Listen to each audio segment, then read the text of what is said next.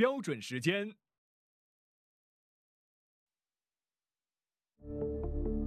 总理说，我国需确保医疗系统保持韧性及维护国人的高度信任，以更好应对未来挑战。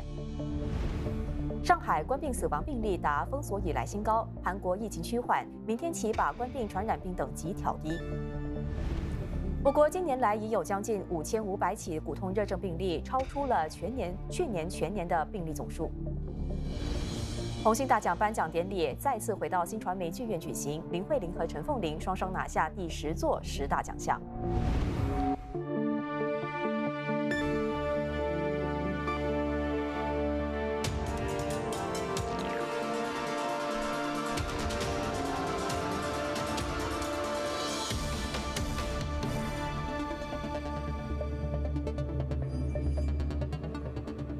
观众朋友，晚上好，欢迎收看晚间新闻。